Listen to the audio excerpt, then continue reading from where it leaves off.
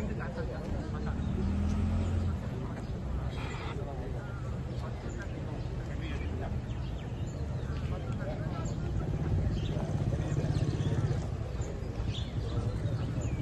Tadi ada? Tadi kan kan ya?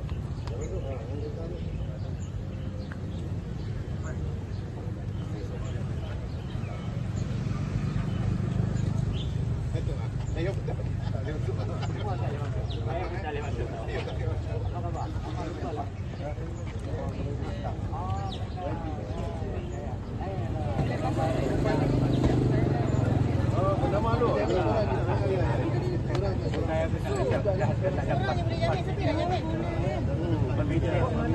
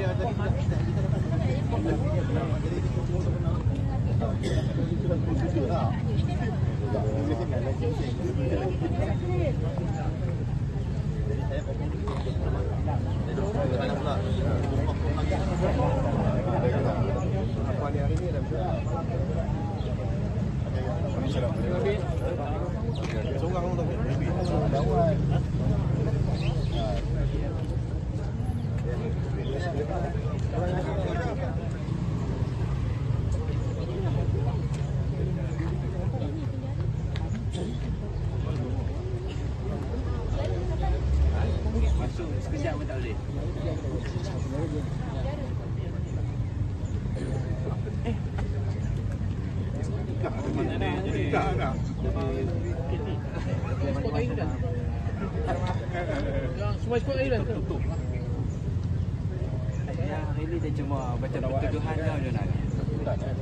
Sebentar.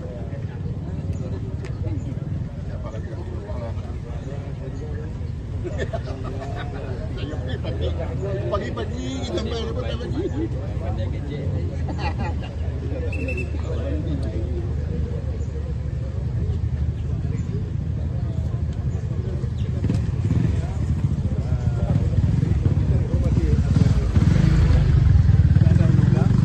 kita ada perlembagaan negara, kita ada pasukan yang uh, keselamatan dan kita ada pasukan apa daripada uh, mahkamah dan juga pendakwaan. Jadi kita serah kepada mereka untuk proses undang-undang yang kita harapkan berlaku dengan dengan adil lah. Kita berlaku dengan adil lah.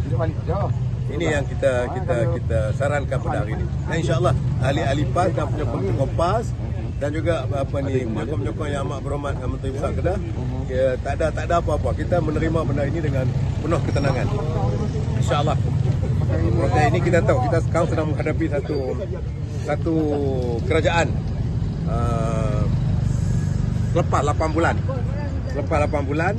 Jadi perkara yang kita lihat sekarang ni uh, sebelum ini sudah menjadi tradisi uh, berlaku perubahan utamanya reformasi dalam uh, tindakan-tindakan yang kita uh, melihat pada hari ini satu perkara yang di luar jangkaan daripada tradisi biasalah dulu.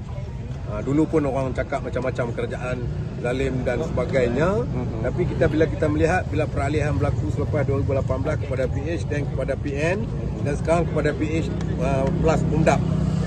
Plus undap ini kita boleh membandingkan boleh membandingkan di segi pengurusan dan tata apa ni uh, selalu PMX sebut tata kelola. Bagi saya ini adalah satu standard operating procedure yang sedang diubah secara perlahan-lahan mengikut kehendak uh, mereka-mereka yang uh, sedang dalam apa ni government of the day lah. Okay. So I think it should be okay. Okey, semuanya bertenang hari ni. Ah, semua bertenang. kepada InsyaAllah, pihak kita ada undang-undang. melakukan, eh. Kita ada undang-undang, kita ada para apa, apa ni hakim, kita ada para pasukan polis yang menjalankan tugas mereka. Sebab semalam Kami ada ada ada ada mesyuarat di di peringkat pusat. Okey. Alhamdulillah. Doa doa pada YB. Saya tanya. Itu pulang pada wartawan lah. Biasalah dalam kita menghadapi apa, PRN ni. Tapi provokasi ni janganlah sampai kita uh, besarkan isu-isu yang macam ni. Eh, sepatutnya bila keadaan biasa tak ada PRN tak ada tak berbangkit pun.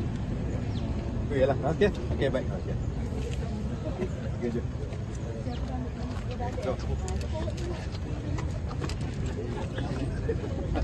Okey okey okey.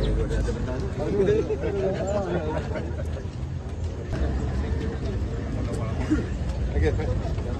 Okey, alhamdulillah insya-Allah tenang tenang, tak ada apa-apa. Ini biasalah kita ada undang-undang.